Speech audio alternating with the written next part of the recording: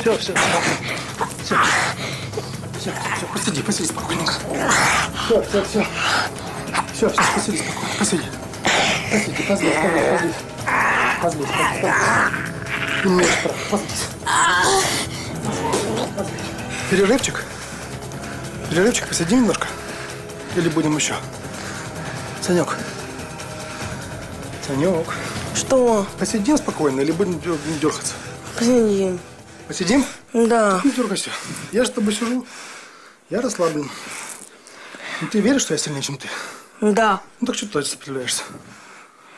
Ну, только ты девочка себя ведешь истеричная. Пытаюсь. Ты девочка себя ведешь? Послушай, тебе ввели ограничения. Но будь ты мужиком, возьми и исправься. Что ты как сыкливая девочка? Ведешь себя, истерики устраиваешь. Ты возомнил себя слишком крутым чуваком.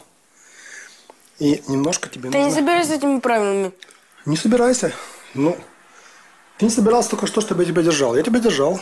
Что ты сделал? Ничего не сделал. Ничего, ничего ты не можешь делать, когда я тебя держу. Правда? Правда. Почему? Потому что есть вещи больше, чем ты. И тебе нужно научиться с ними мириться. Понимаешь? Если ты научишься этому, у тебя будет большое будущее. А ты не пробовал другое.